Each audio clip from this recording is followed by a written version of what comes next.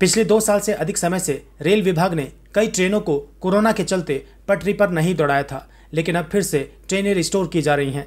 Rail विभाग द्वारा 114 ट्रेनें शुरू की जा रही हैं, जिससे यात्रियों को खासी राहत मिलने वाली है। अंबाला रेल मंडल प्रबंधक गुरिंदर मोहन सिंह ने बताया कि कोरोना काल के दौरान काफ़ी मेल व पैसेंजर ट्रेनें बंद कर दी गई थी, जिसके बाद अब कोरोना काल खत्म होने की कगार पर है। उन्होंने बताया कि रेलवे ने मेल एक्सप्रेस गाड़ियों को फिर से चला दिया है, जबकि पिछले सप्ताह नॉर्दर्न रेलवे ने 116 रेलगाड़ियाँ और चलाने का निर्णय लिया है, जो 1 अगस्त से लेकर 10 अगस्त के बीच में चलेंगी। उन्होंने बताया कि हमारा नया टाइम टेबल जो पिछले वर्ष 1 जुलाई 2021 को लागू हुआ था, उसमें अम्बाला मंडल में 114 रेलगाड़ियाँ चलनी थी। अब इस नोटिफिकेशन के बाद 114 गाड़ियाँ पटरी पर फिर से आ जाएँगी। उन्होंने ये भी बताया कि गाड़ियों को मेल एक्सप्रेस बनाया गया है। इसमें यात्रियों को समय कम लगेगा और सुविधा ज़्यादा मिलेगी।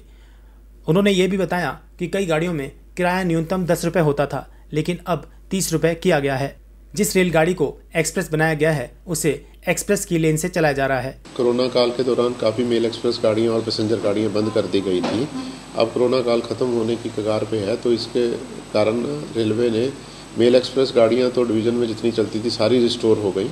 और पैसेंजर गाड़ियाँ काफ़ी कम थी, लेकिन अभी पिछले हफ़्ते नॉर्दर्न रेलवे ने 116 गाड़ियाँ और चलाने का निर्णय लिया है। जो एक अगस्त और 10 अगस्त के बीच में चलनी शुरू हो जाएँगी। तो जो हमारा नया टाइम टेबल है, पिछले साल एक जुलाई 2021 को लागू हुआ था, उसमें अम्बाला मंडल में 114 सर्विसेज़ चलनी थी इंट्रोड्यूस होनी थी और इस नोटिफिकेशन के बाद वो सारी 114 की 14 गाड़ियाँ पटरी पे वापस आ जाएँगी। ये कुछ गाड़ियों को इसमें मेल एक्सप्रेस बनाया हुआ है, उसके स्टॉपेज कम किए गए जहाँ पे टिकटों की सेल बहुत कम थी, उसके स्टॉपेजेस कम करके उसको मेल एक्सप्रेस की तरह चलाया जा रहा है, ताकि एक फास्ट पैसेंजर की तरह सर्विसेज़ प्रोवाइड करें, ताकि एंड टू एंड जाने वाले पैसेंजर्स को टाइम कम लगे और सुविधा ज़्यादा मिले।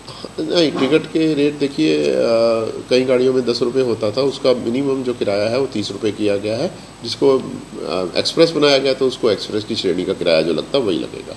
वो पैसेंजर की कैटेगरी से बाहर निकाल दिया गया है। वहीं यात्रियों ने बताया कि रेलगाड़ियों के चलने से वे काफ़ी खुश हैं। उन्होंने बताया कि इससे पहले उन्हें भारी परेशानी का सामना करना पड़ता था। उन्होंने कहा कि रेलगाड़ियाँ चलने से अपने गंतव्य तक वे शीघ्रता के साथ पहुँच सकेंगे। उत्तराखंड के रहने वाले हैं। हम यहाँ से हरियाणा से जा रहे हैं और पहले से बहुत सुविधा जो काफ़ी कोरोना के टाइम पे काफ़ी दिक्कतें हो रही थी। उस दिक्कतों का सामना नहीं करना पड़ रहा अब। सब अच्छी तरीके से साफ़ सफ़ाई, हर चीज़ की सुविधा है यहाँ। अच्छा बेहतर सुविधा है पहले सीमा। मेरा नाम शीश है। आज से रेलगाड़ियाँ शुरू हो रही हैं। बहुत बढ़िया लग रहा है, बहुत अच्छा सफ़र लग रहा है। मैं बहुत खुश हूँ रेलगाड़ियों से।